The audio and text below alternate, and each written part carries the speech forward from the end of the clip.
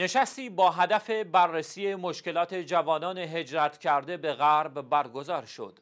به گزارش پایگاه اطلاع رسانی دفتر آیت الله شیرازی نشستی با عنوان بحران جوانان هجرت کرده به غرب بین وابستگی به وطن و دوری از هویت اصیل توسط مؤسسه فرهنگی رسانه النبع در شهر مقدس کربلا برگزار شد.